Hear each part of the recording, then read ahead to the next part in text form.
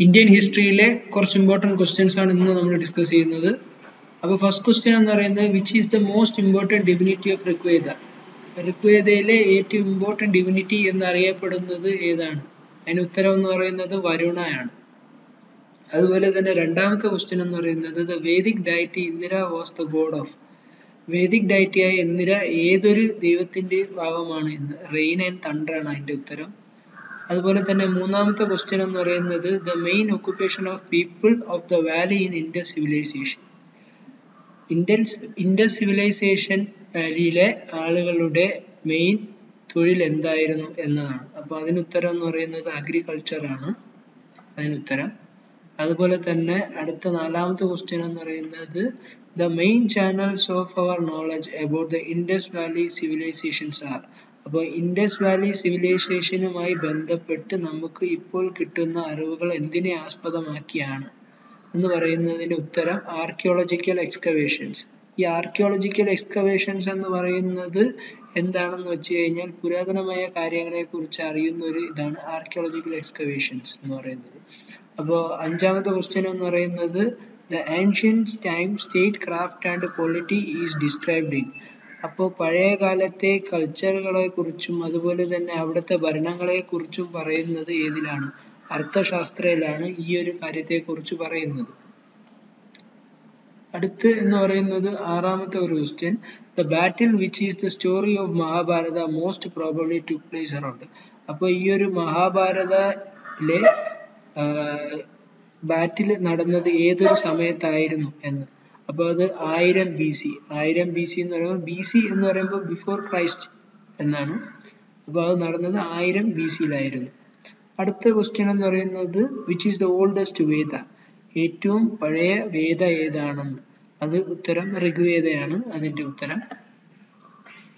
അപ്പോൾ അടുത്ത ക്വസ്റ്റ്യൻ എന്ന് പറയുന്നത് എട്ടാമത്തെ question Mohenjodaro is also known as അപ്പോൾ മോഹൻജിദാരോ വേറെ എന്തൊരു പേരിലാണ് അറിയപ്പെട്ടിരുന്നത്? മൗണ്ട് ഓഫ് ഡെഡ് എന്നൊരു പേരിലായിരുന്നു മോഹൻജിദാരോ അറിയപ്പെട്ടിരുന്നത്.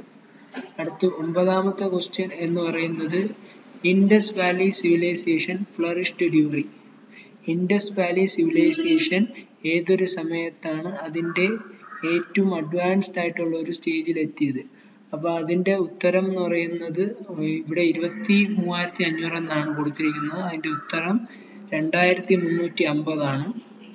അപ്പോൾ അതിന്റെ ഉത്തരം എന്ന് പറയുന്നത് രണ്ടായിരത്തി മുന്നൂറ്റി അമ്പതിനും ആയിരത്തി എഴുന്നൂറ്റി അമ്പത് ബി സിക്കും ഇടയിലായിരുന്നു ഈ ഒരു സംഭവം നടന്നത്. അതുപോലെ തന്നെ പത്താമത്തെ ക്വസ്റ്റ്യൻ എന്ന് പറയുന്നത് which was the first metal used by men മനുഷ്യൻ ആദ്യമായി ഉപയോഗിച്ച മെറ്റൽ ഏതാണ് എന്ന് പറഞ്ഞു. അപ്പോൾ അതിന് ഉത്തരം കോപ്പർ ആണ്. അടുത്ത ക്വസ്റ്റ്യൻ എന്ന് പറയുന്നത് the fourth Buddhist council was held അപ്പോൾ നാലാമത്തെ ബുദ്ധിസ്റ്റ് കൗൺസിൽ ഹെൽഡ് ചെയ്തത് കുഷൻ കിങ് കനിഷ്ക എന്ന് പറയുന്ന ഒരാളുടെ നേതൃത്വത്തിലായിരുന്നു. അപ്പോൾ അടുത്ത പന്ത്രണ്ടാമത്തെ ക്വസ്റ്റ്യൻ എന്ന് പറയുന്നത് കൽപ്പസൂത്ര എഴുതിയത് ആരാണ്? ഭദ്രബാഹു എന്ന് പറയുന്ന ഒരാളാണ് ഈ ഒരു കൽപ്പസൂത്ര എഴുതിയത്. അടുത്ത പതിമൂന്നാമത്തെ എന്ന് പറയുന്നത് in which language did Buddha preach അപ്പോൾ ഏതൊരു ലാംഗ്വേജിലാണ് ബുദ്ധ പ്രീച്ച് ചെയ്തത്? പ്രീച്ച് എന്ന് പറഞ്ഞാൽ ഒരു പ്രസംഗം. അല്ലാന്നുണ്ടെങ്കിൽ ഒരുപാട് ആളുകളുടെ മുമ്പിൽ നിന്ന് സംസാരിക്കുന്ന ഒരു കാര്യം. അതിനെയാണ് പ്രീച്ച് എന്ന് പറയുന്നത്. പാലി എന്ന് പറയുന്ന ഒരു ഭാഷയിലാണ് ബുദ്ധ ആ ഒരു സംസാരം പ്രസംഗം നടത്തിയത്. പാലി എന്ന് പറയുന്നത്. അപ്പോൾ അടുത്ത പതിനാലാമത്തെ ക്വസ്റ്റ്യൻ എന്ന് പറയുന്നത് nomad started settling in nomad man എന്ന് പറഞ്ഞു കഴിഞ്ഞാൽ നാടോടികൾ. എന്ന് പറയും നൊമാഡ് അപ്പോൾ അവർ ഏതൊരു സമയം തൊട്ടാണ് സെറ്റിൽ ചെയ്യാൻ തുടങ്ങിയത്. അതെന്ന് പറയുന്നത് നിയോലിറ്റിക് ഏജ് സമയങ്ങളിലാണ് അവർ സെറ്റിൽ ആവാൻ തുടങ്ങിയത്. അടുത്ത പതിനഞ്ചാമത്തെ ക്വസ്റ്റ്യൻ എന്ന് പറയുന്നത് who is considered as the first national ruler of India ഇന്ത്യയുടെ ആദ്യത്തെ റൂളർ എന്നറിയപ്പെട്ടത് ആരെയാണ് ചന്ദ്രഗുപ്ത മൗര്യ. അതുപോലെ തന്നെ അടുത്ത പതിനാറാമത്തെ ക്വസ്റ്റ്യൻ ആണ് which religion got spread in different part of Asia അപ്പോൾ ഏഷ്യയുടെ പല ഭാഗങ്ങളിലും സ്പ്രെഡായ ഒരു റിലീജിയൻ ഏതായിരുന്നു? ബുദ്ധിസമാണ്. ഏഷ്യയുടെ പല ഭാഗങ്ങളിലും സ്പ്രെഡായ ഒരു റിലീജിയൻ എന്ന് പറയുന്നത്.